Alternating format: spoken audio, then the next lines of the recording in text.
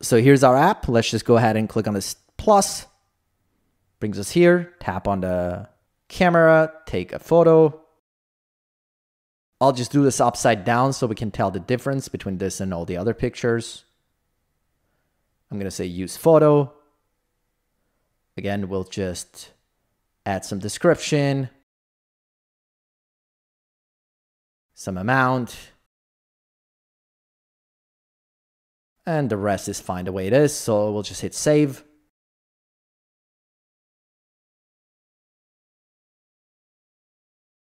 You can see in our spreadsheet, we got that new record right away. You can see it in the background. So here's that new line. You can see it automatically shows up. We got our new description. We got our price. We got the open link. And if we click on this, that should get us directly to that picture. And you can see the upside down picture that I just took.